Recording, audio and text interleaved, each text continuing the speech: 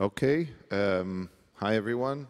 Thanks for having us here at uh, EthCC. It's always a pleasure to see the amazing uh, community that is um, in Europe and in particular in France and Paris. Um, I'm going to talk about next steps for StarkNet and in particular about uh, governance and also things like the StarkNet token and the StarkNet Foundation. But for those who are, uh, who just happen to be here by chance and don't know quite what Stark, Starkware, and StarkNet are, I'm going to give just a very brief uh, few minute uh, just introduction. So those who know this, I apologize. So a little bit, the abridged uh, Starkware and StarkNet story. Um, our technology is the culmination of 30 years of pretty advanced math, and um, Starkware is very proud to be at the forefront of making all of this practical through a series of uh, inventions and creations that most of them were done within our company and, and a few uh, by co-founders and researchers and colleagues. So this includes uh, Stark, FRI, Validium as a data availability model, the Cairo virtual machine and programming language, the concept of layer threes and recursion. Uh, if you attended the Views talk yesterday, then you probably heard about that. At the core, what all of this technology offers you is integrity, which means the ability to know that the right thing was done even when you were not watching. And we're talking about knowing that a computation done off-chain was done correctly according to the specification of the program. And this is very important in the context of blockchains. Now, today, we are proud to be the entity that is pretty much scaling Ethereum as a standalone layer two by the greatest amount and extent in terms of TPS and volume transacted. The StarkEx systems are hauling um, more than all the other L2s combined. And we're doing so under, with no change to the security assumptions of Ethereum, but you always need to read the fine print. And the fine print says, well, there's a single operator currently for the StarkEx systems and also for the StarkNet systems, and that single operator, of course, means that in terms of liveness and censorship resistance, there's room to improve. And that's why we're talking today. So those of you who are already signed up to StarkNet CC tomorrow, you'll hear a lot more about all of this, deep dives into Cairo and Starks, and you'll see the ecosystem. And uh, now I want to tell you a little bit about, about what StarkNet is. So, oh, sorry. Before that, four milestones over four years. First, we built by hand um, the system that was StarkEx, the first version that allowed us to scale. Uh, but then, in order to make things more scalable in terms of the ability to uh, add features quickly, we developed Cairo, and you will hear a lot about Cairo tomorrow, those attending StarkNet CC. And uh, then we use that to improve on the StarkEx system, building systems such as DYDX, and we're proudly serving also Sorare, Immutable, DeversiFi, and others. And uh, StarkNet is the latest thing that we've been doing. So what is StarkNet? It is a decentralized, permissionless, Stark-based validity rollup um, offering scalable and secure Ethereum-like state. So if you know Ethereum and you know what it gives, all the good that it gives, that's pretty much StarkNet, but at much greater scale under the same assumptions as Ethereum, just greater scale. It is a layer two. You can write smart contracts today. It's already live in alpha on mainnet for almost a year general computation, composability, all the good stuff. Now it works very similar to Ethereum. Uh, transactions are submitted to a mempool, and then they are sequenced by a sequencer, and then there's a prover that generates a Stark proof for the integrity of all this computation that was done off-chain. And all nodes of Ethereum verify the proofs, and the proofs are exponentially smaller than the amount of transactions covered by such a proof. Thereby you get your scale, and the mathematics and cryptography of Starks assure you that the right thing was done, even when the Ethereum nodes were not watching. So this system, again, is live on mainnet today. Now, there are dozens of external teams that are building an amazing um, and thriving ecosystem um, with a lot of infrastructure and tools. And, um, you know, this shoot up in the number of downloads came after our announcement of uh, the token and foundation. And, uh, but even before that, there were thousands of nodes running and uh, thousands of developers working on this platform. So this was a brief introduction for those who don't know what StarkNet is and what Starkware is. And now I want to get to the meat of this talk, which is what are our next steps for StarkNet? How do the uh, foundation and token fit in? And what is the vision and essence and what inspired us when we came to think about and design uh, these structures? So the vision is that Starks as a technology should be public infrastructure, a public good, something that is non-exclusionary, um, non-rivalrous, inclusive, like Ethereum, like the internet. And this core technology, this mathematical technology is actually made such public infrastructure by Starknet. So Starknet as a blockchain layer two is the way we see the core technology being public infrastructure available to all for the good of, uh, you know, of all of us. Now, so far, if we look back at this last year or so, since Starknet has been live in Alpha and Mainnet, the functionality is pretty good. Developers, there's always room to improve, but developers can write a lot of smart contracts that are meaningful to users. Uh, the throughput is being improved. It can be better. We have already publicly said that we hope that by the end of this year, we'll do 10x the throughput of Ethereum at amortized cost of 1 over 100, uh, smaller than the fees of Ethereum. And we're confident we're going to reach that, hopefully maybe even more.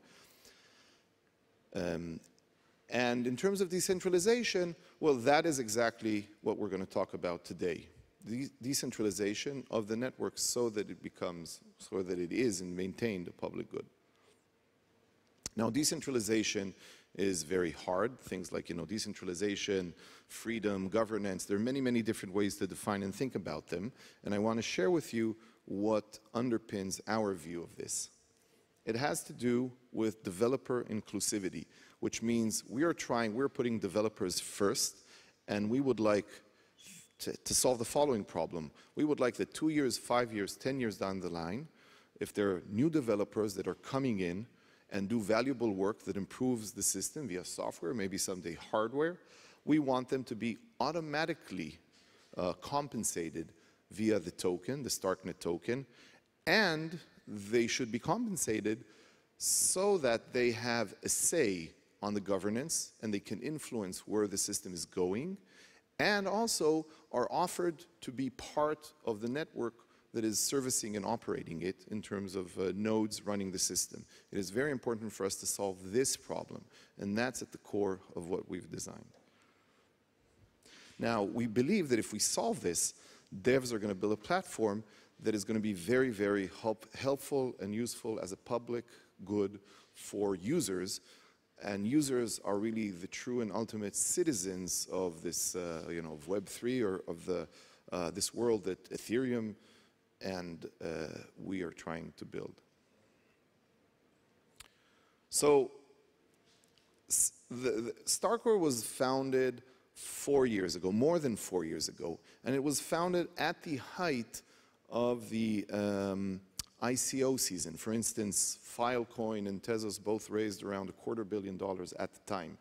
And we raised, uh, you know, compared to this, a meager six million. Now, everyone around us, you know, uh, investors and consultants and so on were saying, you, you should uh, announce an ICO and a token. And we said no. And we were asked since then, you know, when token? And uh, for four years we said no, or rather the formal answer was no comment. Um, and now suddenly things changed.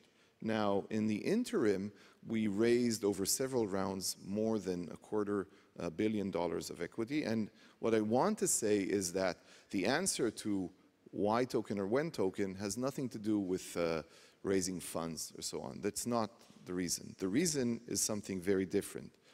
The reason that we're now saying yes is that um, it is needed for StarkNet decentralization, okay?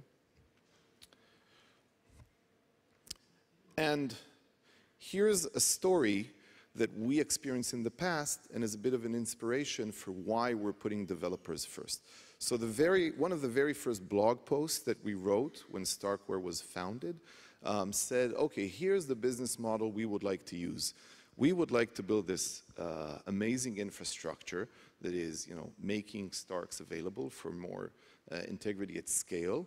And this infrastructure is going to be part of maybe several different blockchains. So we would like to do tech for token. We would like to do work developing software and research that is going to improve uh, these other uh, networks. And we would like to be, uh, um, to get in return tokens um, and, and then, you know, this is the way we wanted our business model to work.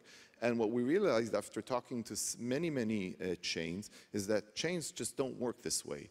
Um, you know, mining rewards pretty much go, all of them to, uh, or nearly all of them go to uh, um, miners, right, that are doing very important work, but they don't really go to developers, and it's just not done. And, you, and most of the foundations usually have a finite, maybe very large, um, finite amount of tokens that have to last for eternity, and it's very, it's very hard for them to, to, to, to make uh, such uh, deals. Now, this is the inspiration. We're not doing now something that is tech for token, but it is the inspiration when we came to thinking about StarkNet for maybe we can try and have it so that others will have a different experience. And we would like developers to get StarkNet tokens for the valuable work that they are doing for StarkNet. And as a consequence of that, they will be in charge of the governance and also be part of the operators of the system through sequencing and proving. And um, this way, especially if we can do it somewhat automatically, will also help the, uh, increase the inclusivity, meaning that people, newcomers, can come and uh, be part of the ecosystem. Okay. Now let's talk a little bit about where StarkNet today is on the decentralization continuum. So there are certain aspects that are centralized, and we discussed this a little bit. The operator of StarkNet and a lot of the core software are written and uh, maintained and uh, operated only by Starkware. But there are other very important aspects that are decentralized today. Uh, the most important one is that the security layer is that of Ethereum as a layer one, and it's very decentralized and very secure. Um, also, a lot of the um, infrastructure, such as wallets, full nodes, APIs, is, is being written by external parties, and it's the, the, this ecosystem is growing very rapidly. Um, by now, most of the hackathons, education, and onboarding of new developers is actually done outside of Starkware. Again, StarkNet CC is one such example, and uh, we see this like big, beautiful wave that we are just becoming one drop in, and we're very happy of that. And of course, smart contracts and dApps are all built by, by external teams. So we're somewhere on this spectrum. So what do we need to do more? And why do we need to do more? We need StarkNet to, we need to ensure that StarkNet never depends on any single one party, including Starkware, even though Starkware, um, you know, came up with some of the core ideas and technology. And um, what this means is, and why we need this, so you need to decentralized operators to maintain liveness, right? If Starkware tomorrow just shuts down, you still need the system to be, um, you know, the state to move forward and people to submit transactions. You also need to prevent censorship. Uh, what happens if Starkware decides or is, uh, you know, uh, needs to uh, censor certain transactions? This cannot happen. So we need decentralization of operation. We also need decentralization of the whole process of development. So there is transparency to the way upgrades are being done and where the system is moving towards. And we also need it to be inclusive and participatory so that you know, people can come on and improve it all the time. So this is what we need to uh, address. And now the question is, okay, if Starkware is as a single operator and as a, as a main developer of the core software is stepping, taking a step back, then who takes the reins and how do we control this? And the answer we're giving now, this is you know, the next answer, right? But there will be further steps down the line, is that we, we, we believe that a governance token and the assistance of a foundation are the next immediate steps on this uh, furthering decentralization path. So the mission of the foundation is to maintain StarkNet as a public good and to develop, test, and implement community decision-making processes. The token is used to define the community, to give governance rights to those who are advancing the ecosystem, and to um, and as a, as a currency for fees and for minting, sorry, fees and minting are being done also for operating system, but also for work being performed um, by developers. Now, the foundation is going to be allocated slightly more than half of all tokens minted thus far. And it's going to be funded by a one-time grant of these tokens from Starkware. It is right now being set up, and more details are going to be appearing as it's, uh, you know, as it's up and running. the token will be required for three things, for governance, voting on important things. It will be required for paying transaction fees in the native Starknet token, and it will be required for staking if you want to be one of the operators of the system. We published a three-post series, and I encourage you all to read it. Um, and we explain there in great detail, you know, all the reasoning and how we're doing it. This is one of the um, pie charts that appears there. It gives the allocation, and there's more explanation there. Uh, there are 10 billion tokens that have been minted so far, and there will be ongoing further minting, right? So the circulating supply is not going to stay fixed at 10 billion. What I want to do here is just highlight a few things that are also mentioned there. Um, the first one is that roughly third, uh, just slightly less than 33%, are going to core contributors. And here, what we are doing is putting both Starkware employees and consultants. Um, everyone who is in this uh, chunk gets the tokens under a four-year lockup with a one-year cliff and gradual release. Um, just to emphasize, these tokens under this portion are not being uh, vested. They are uh, unconditional unlock. Um, and the last thing I want to mention is that this part also covers the many, many developer partners that are strategically aligned with um, StarkNet and its mission. And I won't read the whole list because it's uh, long. There's actually a few more that we haven't announced yet. And I also want to take this opportunity, I also wrote in a tweet previously that there's an exciting announcement that I want to make. So the announcement is we have, um, we're very proud to partner with the uh, local Paris-based uh, Ledger uh, hardware wallet team. Uh, and we have a new strategic partnership with them between Starknet and uh, Ledger. That's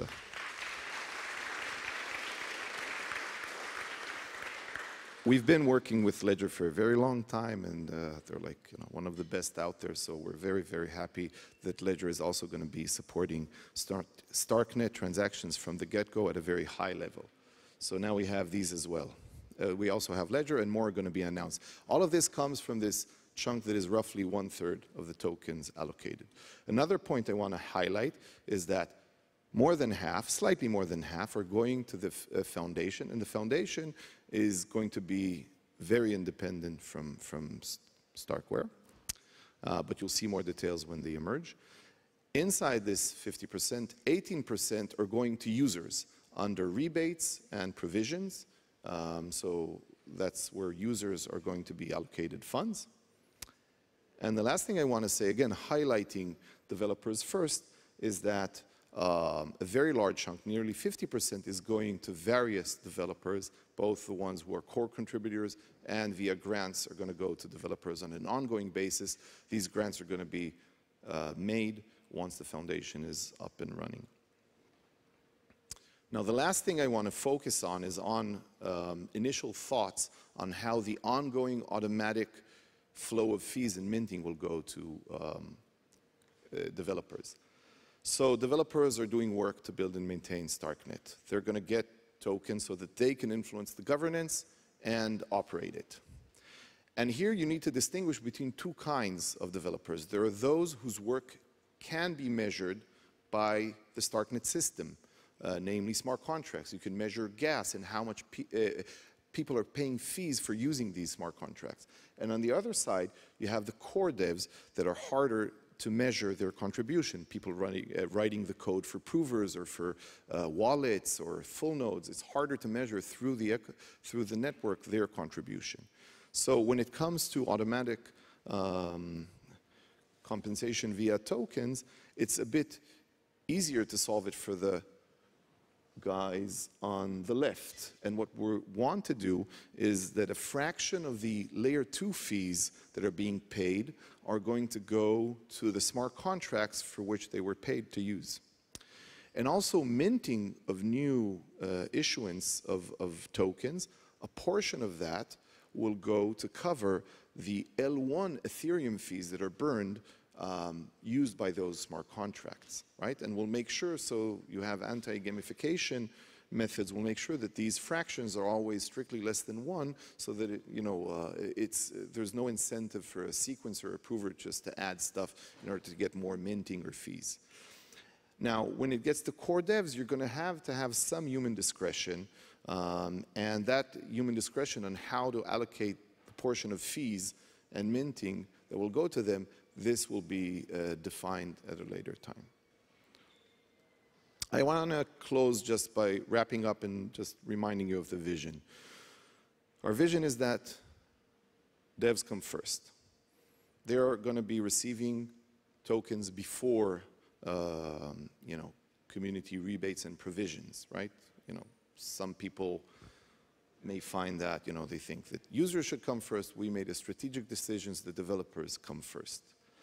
Um, developers will receive a portion of fees and minting to compensate them for their work, to give them a say at the governance. Think of this developer who's now, you know, in, in college or in high school and five years down the line is going to do some amazing work.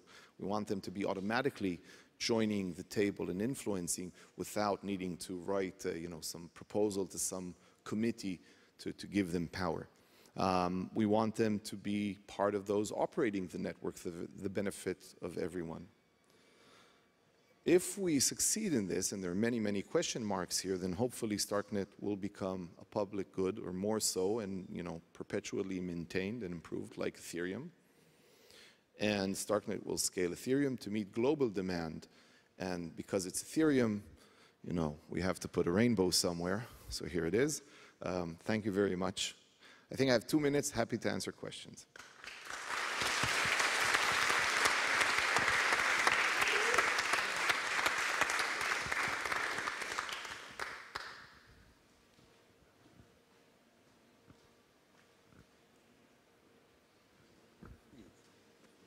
I can sing, sing something meanwhile. I think they want to record it.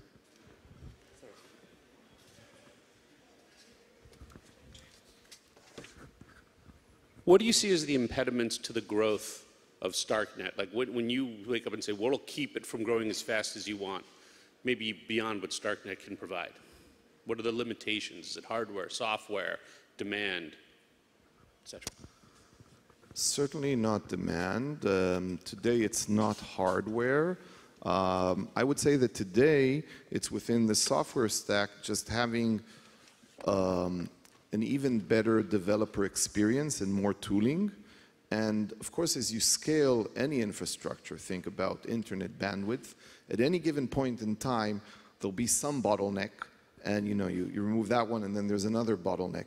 Right now, we are unrolling, a, um, there are some things about the sequencer, which by the name it is, you know, somewhat sequential that we're trying to improve so, I mean, that's one of the current bottlenecks, but once we remove that, this is just, you know, the next few months, uh, once we remove that, there'll probably be others. We're not yet at the stage where hardware um, is, is a limiting factor, not yet. Hi, Eli. Um, big fan over here. Ah, okay. Uh, big fan of Starkware, but uh, also of you. Uh, I wanted to ask, so right now your technology is mainly um, your, your main goal was to scale Ethereum. Um, other ZK rollups, for example, focus on privacy. Uh, I was wondering if you had any plans for uh, privacy preserving uh, transactions uh, either on StarkNet or uh, something like that. Yeah, that's a terrific question. So you already get, you're going to get some version of privacy by doing things like layer 3, or if you look today at the StarkEx systems, especially those that are running in Validium and not in rollup mode, there's already pretty good privacy preservation for users from the blockchain. The operator of the system knows a lot about them. That's the way it's currently. But it's also a, a, you know, a, so- somewhere on the continuum of privacy, it also gives you some, some answer.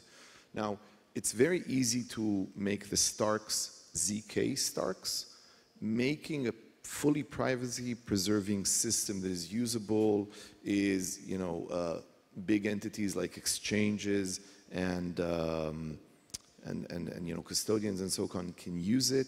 Uh, from a regulatory point of view, from a user experience point of view, and many other things, it's a much, much, much bigger challenge.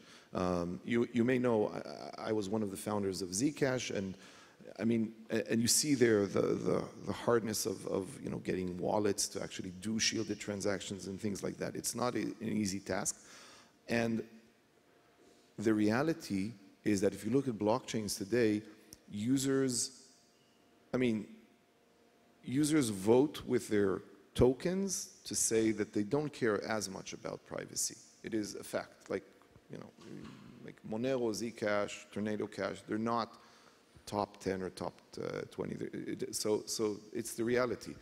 Once there's, we will have privacy. Once there's bigger demand, of course, this will become a higher priority. But the reality is that it's uh, not the most burning thing for users. Until it is. Yes.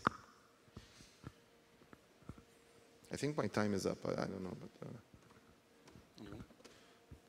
Okay. Thank you very much.